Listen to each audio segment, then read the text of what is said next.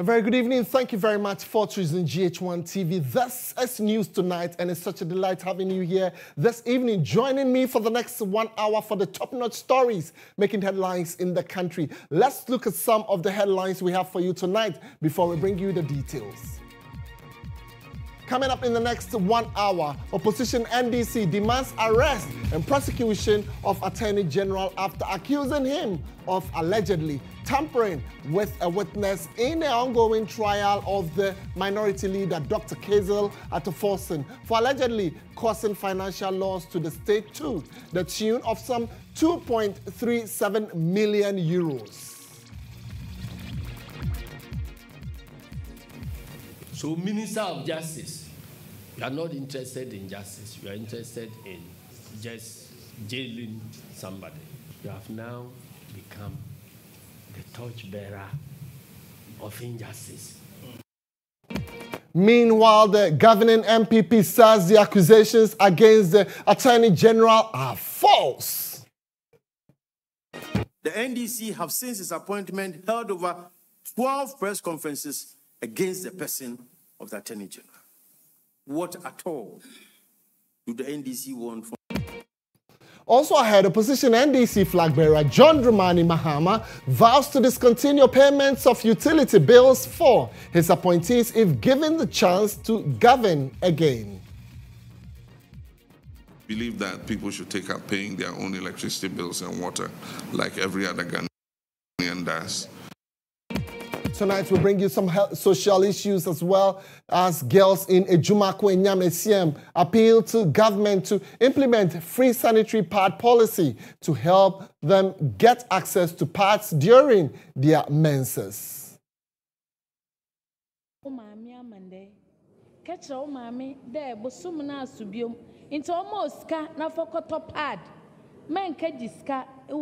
biara.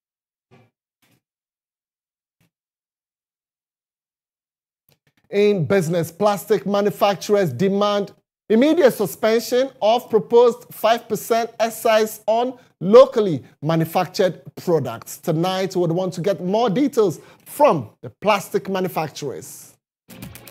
You see, plastic production is a high tech process and therefore not a simple understanding for everyone. Tonight we have these and many other interesting stories making the one hour bulletin. Don't forget we'll be bringing you some sports update. We'll be refreshing you with some entertainment news. We'll also be crossing over and bringing you some international stories. Be my guest, stay with us as we bring you all these stories and many more. The program is News Tonight, and my name is Kweku Temeng. Tonight, we start with Insight, and Insight is proudly brought to you by Pepsodent. With Pepsodent, every smile matters. Well, on Insight tonight, let's spend time at the courts as the judge presiding in an ongoing trial of the minority leader, Dr. Cassiel Ato Forson, and businessman Richard Jakpa has issued a stern warning to the parties involved in the case to be circumspect in their public commentaries. Well, according to her, any attempt by anyone to scandalize the court will not be tolerated since the court is the only institution clothed with the power to determine the matter. Justice Efia Serwah Asare Botwe sounded this caution while addressing a heavily packed court gathering on Tuesday, May 28, before adjourning the case to June 4, 2024. Well, she said she will not be swayed by the commentaries going on outside the courtroom. EIB Network's legal affairs correspondent Mutala Inusa reports. It appears that two leading political parties, that's the NPP and the NDC, have taken the trial of the minority leader, that's Dr. Kazel Atuforsen and Richard Jakpa, to their headquarters. Now, while the opposition NDC is demanding the immediate resignation uh, or dismissal of the Minister of Justice and Attorney General Godfred Yeboah Dame for what they say is witness tampering, the governing NPP is accusing the opposition party of peddling falsehood against the Attorney General. While the minority leader, Dr. Kazel Atuforsen, is facing trial for allegedly causing financial loss to the state to the tune of 2.37 million euros in the purchase of some ambulances for the Ministry of Health. Let's take a lesson to the NDC first. Attorney General Godfrey Odami shot up from his seat to accuse Mr. Richard Jakpa of defending Ato Forson rather than himself.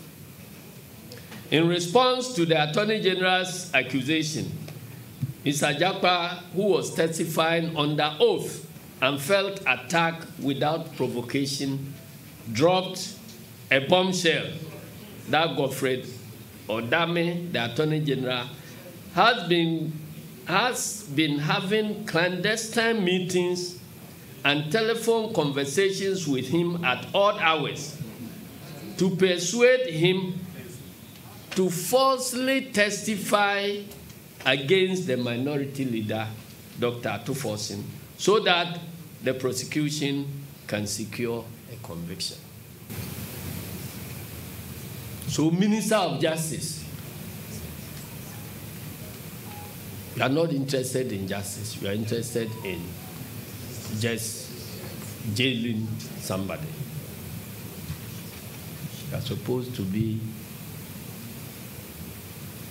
the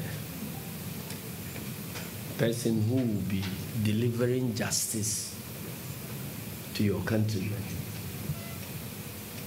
You have now become the torchbearer of injustice. the immediate and unconditional resignation of, or dismissal of Godfrey Dame for bringing the high office of the Attorney General and Minister of Justice into disrepute and public opprobrium. Clearly, Mr. Dame is not fit to hold himself out as Attorney General and Minister of Justice. He is unfit to be the leader of the Ghana Bar.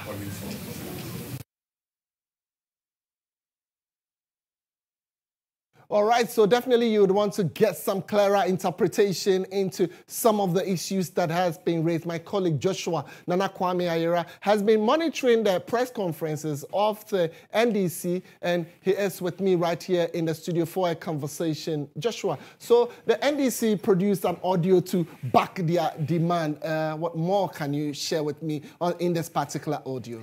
Well, um, I think it would just be ideal to also just refresh our viewers, uh, the memories or the minds of our viewers of how we got here. Because if you remember, it's exactly a week today, Tuesday, mm. when the third accused person, Richard Jakpa, um, ended his evidence in chief in court, mm. and, um, exactly a week today. And then that is what subsequently led to the court also ordering uh, the counsel, the lead counsel lawyers of Dr. Ato Forson to also start their, with their cross-examination.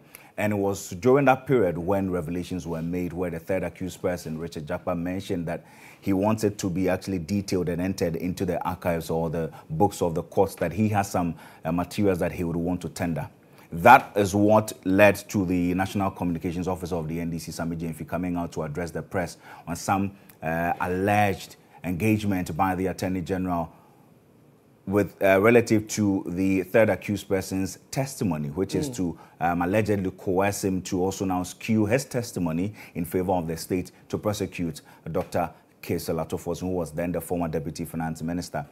That very day, which was on the 23rd of May, the Office of the Attorney General had to now issue a statement and, of course, debunk some of the allegations that were made. If you look at the paragraph two to three of their statement, they indicated that the Office of the Special I mean, the Office of the Attorney General, including uh, any officers within that particular office, including the Attorney General himself, have not met or engaged any of the accused persons mm. in this particular issue.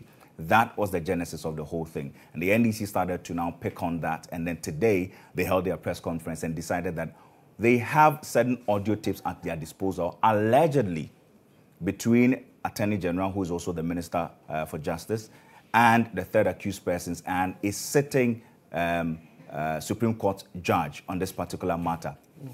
The essence of the audio, which was just about 16 minutes and 5 seconds, was recorded on the 9th of April 2024, today, between, allegedly, between the acu third accused person, Jakpa, Richard Jakpa, and the Attorney General, that is Godfred Yeboah Dame. Mm.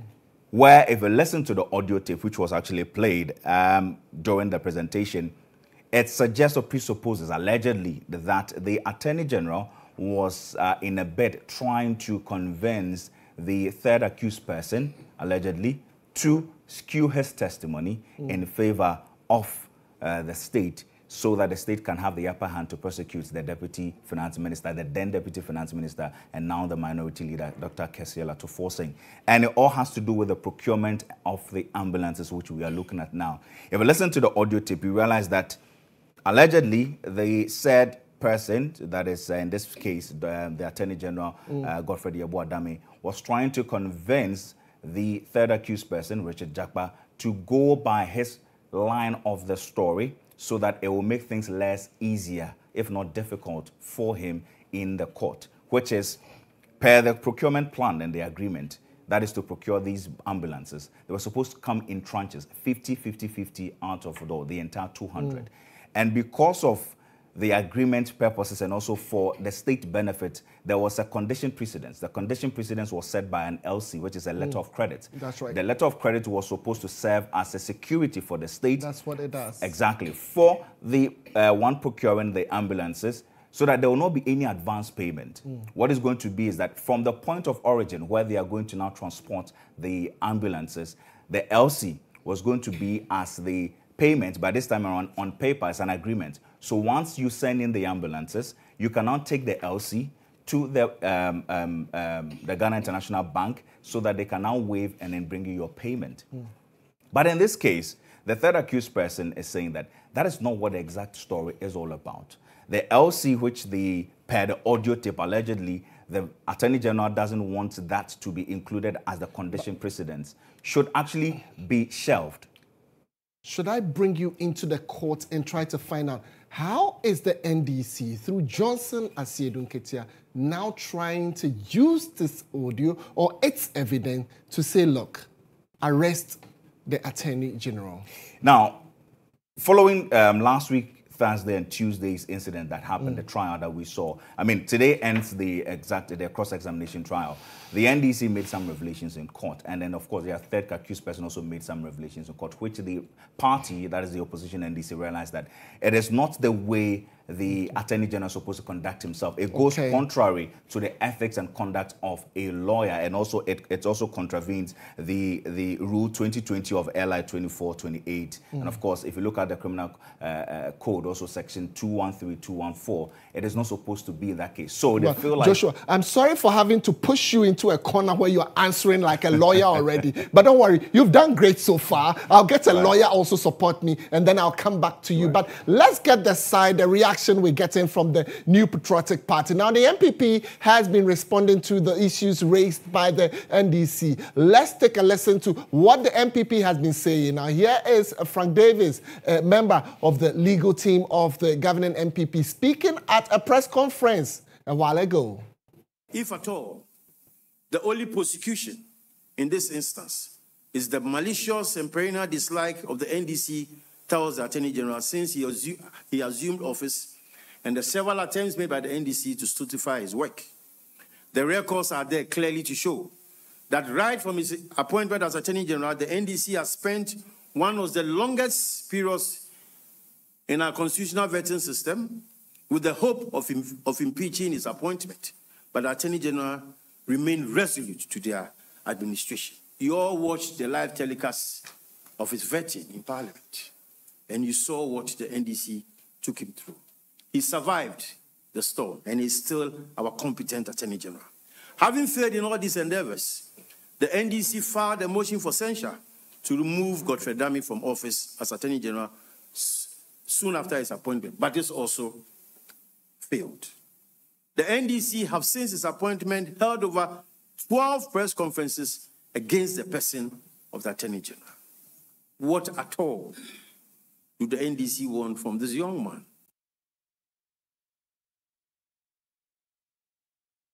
All right, so let me go to a legal practitioner at this moment and try to uh, gauge the mood of both sides and really what the impact of all these evidence and counter accusations have on the substantive case. Lawyer Yao Dankwa is a private legal practitioner. Counsel, thank you very much for joining me this evening. So, Justice Efia Serwah should be in a difficult position at this moment with all the information coming out at this moment and counter accusations. Can you share with us, having followed this matter closely, well, so this evening, what has been coming up, the impact that all coming out with could have on the substantive case?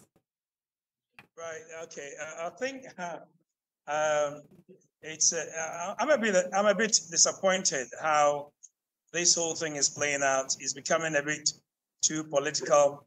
The case, the substantive case, is is in the court and is being deliberated upon by a very experienced, a very experienced judge, not a high court judge for that matter, but a court of appeal judge who's sitting as an additional uh, high court uh, judge in the matter.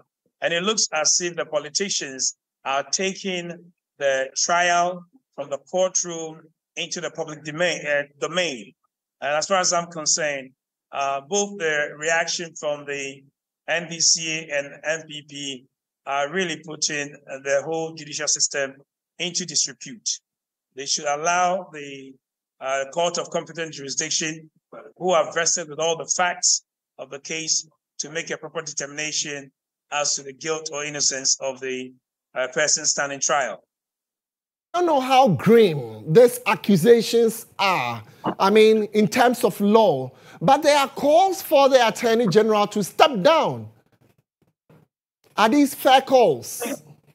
Well, you know, um, of course, you know, if there's been an allegation and uh, um, uh, it is our right as a citizen, it is our right as a citizen to uh, request that the Attorney General steps down if we feel that eh, eh, you know his behavior has not been uh, eh, he's not behaved properly. But of course, he's also uh, a public officer. He should be given the opportunity to tell his side of the story. And as far as I'm concerned, there hasn't been any complaint a formal complaint made against him for people to demand his resignation. And I think the allegation that has been made, if there's a merit in that allegation, it has to be properly investigated. And once that has been investigated and the proper procedures has been followed, and the uh, the conclusion or the uh, final decision of whatever uh, is the outcome uh, means that he have to resign, of course. And, you know, that, that's what people will demand. And of course, will expect as a good citizen that he does that.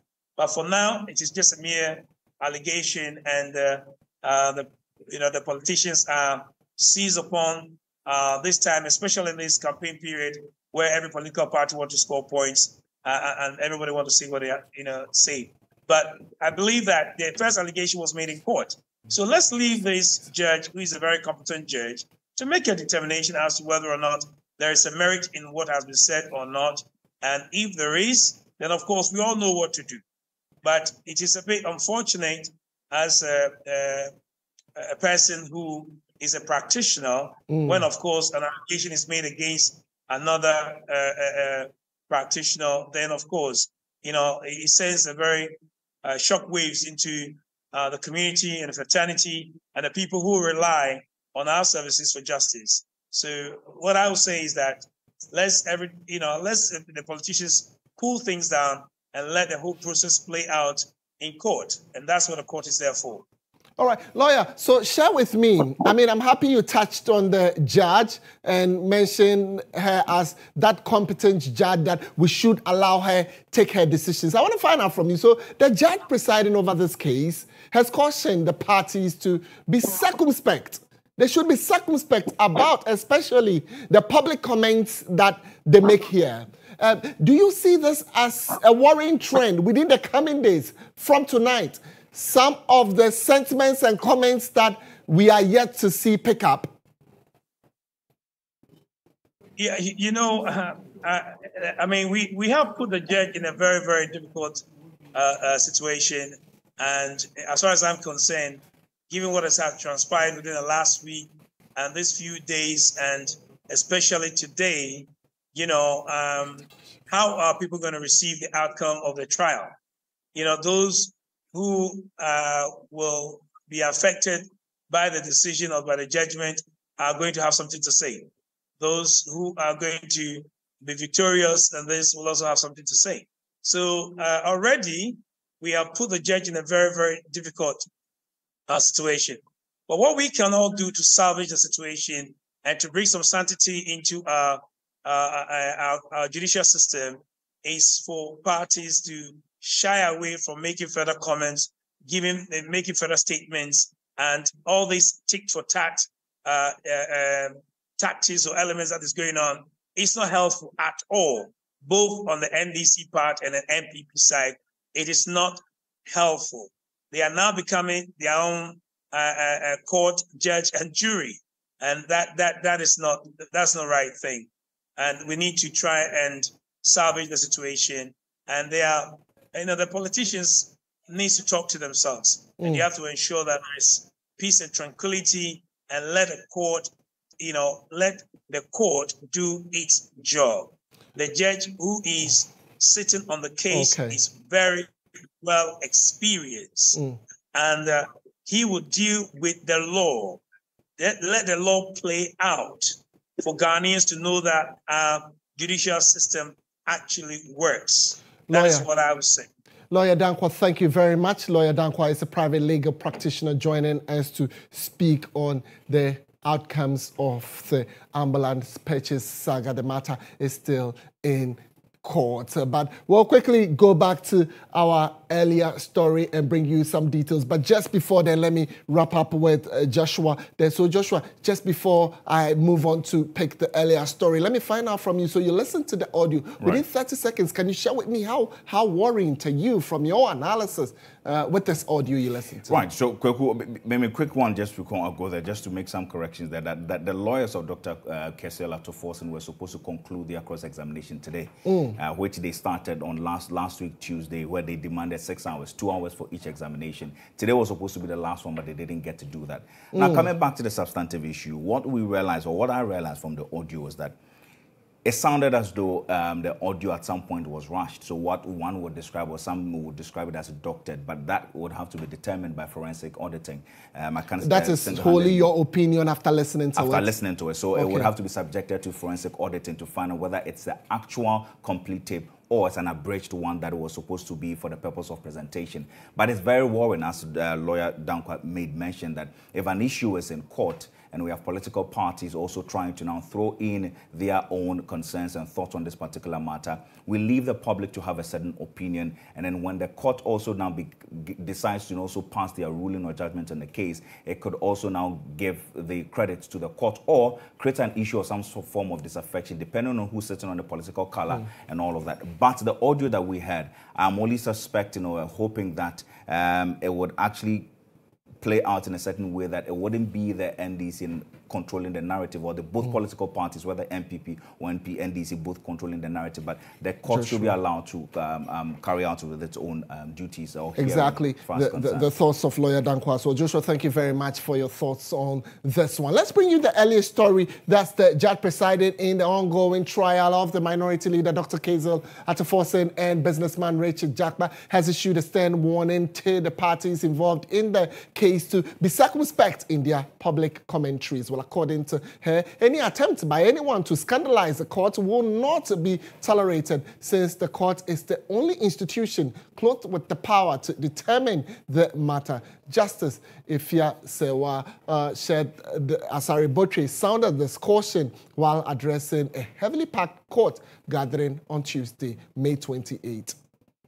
It was indeed a very charged atmosphere with a very heavily packed courtroom. If you come to the financial and economic courts, you realize that the atmosphere has changed all in relation to the case involving Dr. Kesiel Ato-Forson, the current minority leader in parliament, and Mr. Richard Jakpa, a businessman who are facing trial for allegedly causing financial loss to the state following an ambulance purchase. In fact, when the matter was called, a lawyer for Dr. Kesiel Ato-Forson, led by Dr.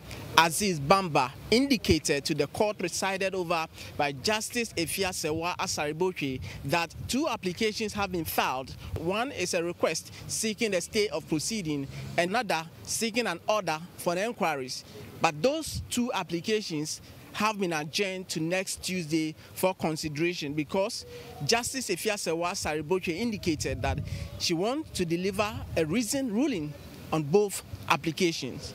The court, however, took note of comments in public about how politicians, the two political parties especially, are dealing with the matter before the court. The court said anybody who crosses the red line will be dealt with. The court had a moment with the National Communication Officer of the NDC, Sami Gyamfi, who made a comment after the last court sitting. The court urged the parties to be very circumspect. What is the reaction of the Attorney General, especially Deputy Attorney General Alfred Tuah-Yeboah? The question is, there are calls for the Attorney General to resign. What's your take? That's the decision, decision of the AG to make, but I don't see it that way. I do not see any tension. We are prosecuting our case. They are defending their clients, and that's how the legal system works. So far as we are doing our work in court, we continue to do it and nothing else. Sami Gyamfi, the National Communication Officer of the NDC, welcomes the uh, call from the court, but also took time to explain his point, his comments at, at the last court sitting. Uh, no, in principle, um, um, for the sanctity of the administration of justice, the court will always ensure that uh, commentary on matters that are sub judice are responsible and done with circumspection so that the court is not scandalized. So, in principle, the caution of the court was in order, and it is something that we in the NDC agree with, and that is why, right from the outset, we have been very circumspect in whatever we say on this case and have ensured that the court is not in any way or form scandalized.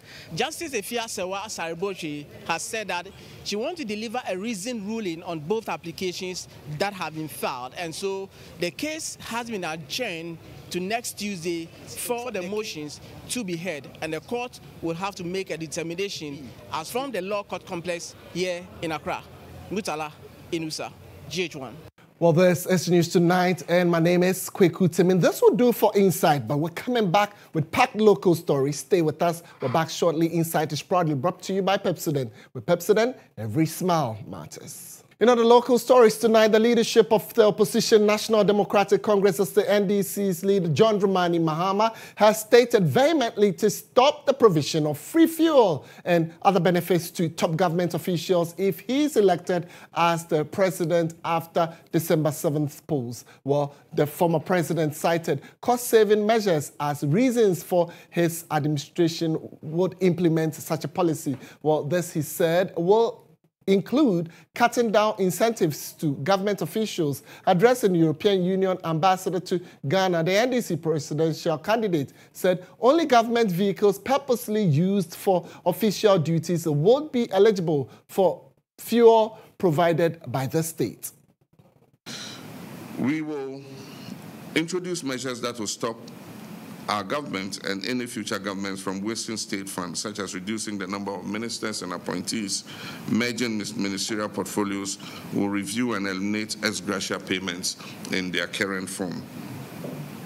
We'll also merge state agencies. There are several state agencies that are duplicating each other. And so where the functions are the same, we will bring them together and merge them will discontinue the payment of utility bills, fuel, DSTV, etc., as conditions of service for top government officials, directors, and the political class. Uh, we believe that people should take up paying their own electricity bills and water like every other Ghanaian does.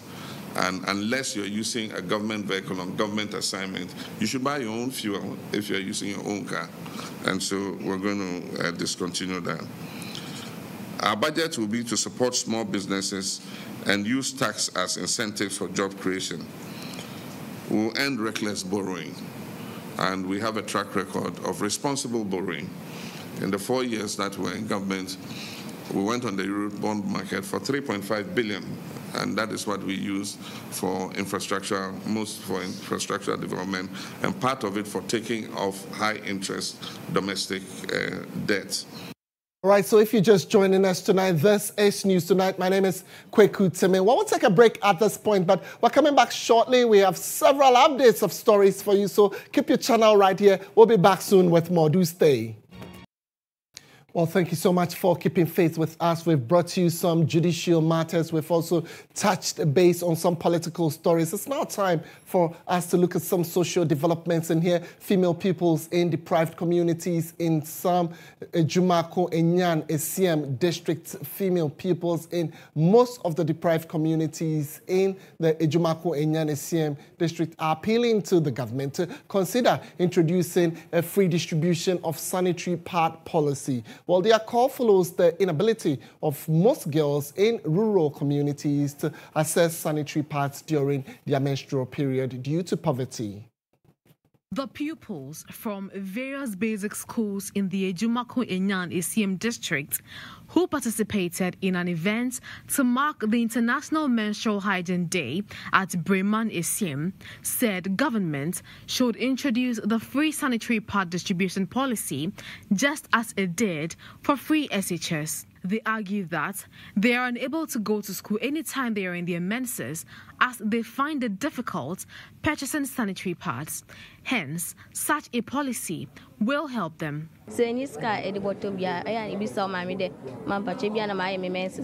wɔbɛka kyerɛ dɛ ɔnyi sika nti twɛn kakra twɛn kakra nso na still ade no ba ɛba ndema no a woadwene akɔ akɔsi baabi wotumi no akɔ akɔfa boyfriend boyfriend no ɛbɔkɔ akɔfa no nso ɔno nso wobɛka kyerɛ ɔde kyi dɛ ɛne ne da ansa na wama wo sika no ɛda atɔ bi nti yɛsrɛ aban dɛ ɔbɛtetew tax na tax a ɔda paade no yɛtum na yɛnya na the government to bring us parts because the feeding fee and the free education sometimes not not anything that we don't pay. Sometimes we pay some things. So I will appeal to the government to bring us free pass or take away the taxes that are on the pass. They also appeal to the government to include changing rooms when putting up school buildings. We must change our padding every six, six minutes or one hour to three. Or we need a bathroom to change ourselves every time. And also we need changing room for them. When they got the menstruation, then they will be go there for change themselves. The girl child coordinator for the district, who urged parents to support their daughters during their menses, disclosed that over 600 packs of sanitary pads have been distributed to girls in the area. So when I posed a question and one girl answered that she has a lover just because of sanitary pads. The parents are not able to. And for that reason, she has to go in for a boy to support in buying the sanitary pad plead that they reduce the tax on sanitary pads so that the parent can also be responsible. The Director of Education in the Ajumako Enyan district, Sabina Abba Wilson, who also spoke at the event, urged the pupils not to be shy during their menstrual period. She also advised them to shun exchanging sex for money to buy sanitary pads. Oh, mommy, Amanda. Catch oh, mommy, there, but some pad. Let's still stay on the subject as female pupils of the Akropong School for the Blind have received six months supply of sanitary pads from the Lands Commission Ladies Association of Accra. Well, the donation, according to the association, is part of their contribution in making sure that pupils who are mostly from poor homes get access to sanitary pads, which is becoming expensive on the market. The theme for World Menstrual Hygiene Day 2024 is Period Friendly World, which is meant to advocate for all barriers hindering girls and women from going through their menstruation successfully are removed. To give meaning to this theme, members of the Lands Commission Ladies Association chose to support female pupils of the Akropong School for the Blind with assorted items, including sanitary pads, washing detergents, soap, toilet rolls, among others. The target was to give to the disadvantaged in our society. That's why we chose Akropong School for the Blind. And we know there are young girls here they also have issues when it comes to buying sanitary towels. So we thought it's wise today to bring them some sanitary towels to help them so that they can have good menstrual hygiene. Dr. Mans used the opportunity to appeal to the government to make an extra effort to reduce the cost of sanitary pads so that schoolgirls can get access to them. Even the donations we do, we do it only periodically. It's not every day. And we don't even know how long it will last. So it's to be best that government puts in the structures so that it becomes accessible to everybody in the rural community. So it shouldn't be a once a while donation. The vice president of Lakolas, Haja Zainab Salifu, on her part, advocated for free distribution of sanitary pads to girls, especially in the rural areas of Ghana. When you look at people in the rural communities, it's very difficult to get 20 cities to, uh, to afford a sanitary pad. And that is why most of the girls I have come into contact with in the schools, they use either rag or any unhygienic material when it's time, when it's their time of the month. And so we still call on the government to do something about the sanitary. Personally, I wish sanitary pad can be given to female students for free. Receiving the items on behalf of the school, the chairman of the donation committee, Joseph Suwu, expressed gratitude to Lakolas, adding that the items will go a long way to help the girls in the schools. Bringing us these sanitary pads today, in fact, is to go a long way to help our girls in the menstrual hygiene, to keep them neat. When it is time for their menses, they will not worry about where to get pad to use. So they will also feel comfortable in their classrooms to concentrate on their academic work. We say very thank you to you.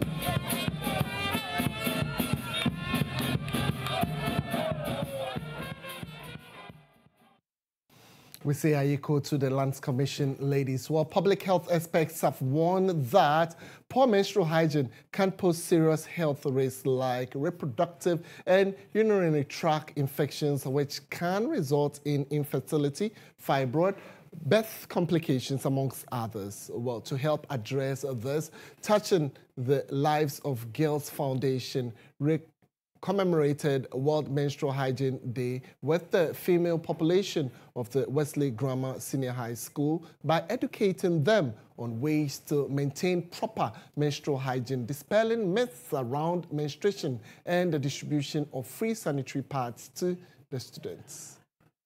Speaking on the sidelines of the commemoration of World Menstrual Hygiene Day at the Wesley Grammar Senior High School, Municipal Director of Education for Ablekuma North, Ebenezer Perry Ofori, reiterated calls for government to supply free sanitary pads to primary and secondary schools. He is of the view this will help address the growing concern of poor menstrual hygiene among students. With all the education that we are giving, if the aspect of the pad also comes in at least it will, it, will, it will solve the problem. And I think the whole menstrual hygiene management will become complete and very effective. Touching the Lives of Girls Foundation, a non governmental organization, has over the years focused on addressing these health concerns faced by many young girls in Ghana by taking them through proper ways of maintaining hygiene and distributing free sanitary pads to schools. This year, the Wesley Grammar Senior High School were the beneficiaries. Founder Nana Ama Educhumwa says this was born out of her near death experience due to poor menstrual health. For the first six months, my mother didn't know I had had, I had, had my menses. So I was um, taking, I was using racks uh, because I didn't know how to take care of myself because nobody taught me about it. So I was using things on wholesome materials. And there are some things that I did which um, it, it, it went untreated. Now it turned to growth. So it was affecting my menstrual flow. And then I developed the likes of ovarian cysts and a whole lot of things. Many public health experts continue to advocate for the need to address menstrual hygiene openly in order to create an inclusive environment for all girls. World Menstrual Hygiene Day is a global initiative aimed at breaking the silence about menstruation and raising awareness about the importance of good menstrual hygiene management. All right, so that's about it uh, for some local stories. Very shortly, we move and bring you some business updates. Right, so we appreciate Bill's microcredit for making it possible for us to bring you the business news. In business tonight, participants at the eighth edition of the Ghana CEO Summit and CEOs Excellence Awards are advocating for an increased public-private collaboration to foster synergy for economic development. Well, this according to the CEOs Network, and when achieved, will take away undue pressure on government to allow for resilience and sustained prosperity in the country. Since its inception eight years ago, the Ghana CEO Summit and CEOs Excellence Awards has been an assemblage of CEOs and professionals from diverse backgrounds to share ideas, help shape policy directions targeting critical sectors of the economy, and also honor deserving CEOs for their distinguished performances in the year under review. Engaging the media on the sidelines of the event, the Chief Executive Officer of the CEOs Network Ghana, Ernest de Graft Egyir, said economic diversification is crucial for resilience and sustained growth, leveraging artificial intelligence. You need to have a market base, you need to have a niche for which you appeal to, you need to have um, route to market strategy. So when the CEO network was formulated, we saw that corporate Ghana need a platform to be able to showcase their competitive advantages. So most companies gravitate towards the Ghana CEO Summit because they see the platform as a decision-making audience. Speaking with GHOne Business, the chairman of Ghana Link Network Services, Nick Danso, operators of the Integrated Custom Management Systems, ICUMS, at the various ports of entry indicated that their operations brought about an increased revenue mobilization to the government as all loopholes have been plugged. You know, this my system, we are always improving. Every day we, we have a team that go around, goes around to see what is happening, what is the new thing coming in. Let, let's say, for example, you are an importer. You can bring your goods and send it to Ghana Link. When Ghana Link give you the final declaration forms to go and pay your duty, and you think it's too high, you just destroy it and go to another company, like maybe Cotecna or Bivac, and you go and do work on your way to get cheaper. On his part, the Director General of the National Lotteries Authority, Sammy Awuku, highlighted the importance of engaging in community-centered development projects, taking into account the vulnerable in society. It's about the confidence that people also have in you. And so far, I'm excited that the trans- my, my team has been a dedicated team that I've had the opportunity of working with. And so far, they've been amazing. And uh, I believe that working hand in hand with people to achieve this greater good for me is what has also kept me motivated. And I believe we brought that transformation, transformation into the industry. It has helped. And it's, uh, it's definitely a future that we need to look at more, getting more revenue for the state. And the 2024 CEO Summit was themed Reigniting Business and Economic Growth, Charting a Path Forward economic diversification and artificial intelligence transformation, a private public sector CEO dialogue, and high impact. Learn. In other business stories tonight, the Ghana Plastic Manufacturers Association has begun impressing on the government to immediately suspend indefinitely the proposed 5% excise tax on locally manufactured plastic products. Well, according to the association, the excise tax will cripple the local industry, lamenting it will cost them an extra 380 million cedis monthly when the tax is implemented. Well, President of the Ghana Plastic Manufacturers Association Association, Ebo Botwe, was addressing a news conference earlier today. We wish to state the following.